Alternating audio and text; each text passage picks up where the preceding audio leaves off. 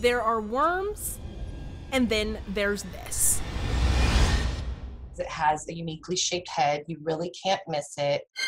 A hammerhead flatworm. They get about a foot long, they're from Southeast Asia, and they're here. Much like how it got to the United States, the way that it spread through Texas is through the greenhouse industry, landscaping, nurseries.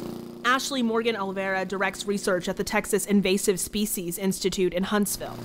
I've had about 25 phone calls and I've received over 100 emails. This Facebook post showing a worm found in Dallas was shared more than 40,000 times in two days.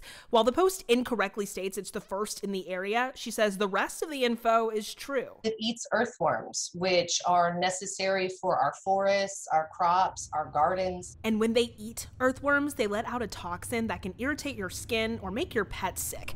They can also spread parasites. Now, if you find these things, put some gloves on, maybe use a stick and put it in a bag with salt and or vinegar and you're going to want to go ahead and put it in your freezer overnight. What you don't want to do is just put it in the trash can or worse, cut it up into little pieces it will regenerate. So if you chop it into two pieces, you've just made two worms, etc., etc. So oh my gosh, that's like yeah. a horror movie. What?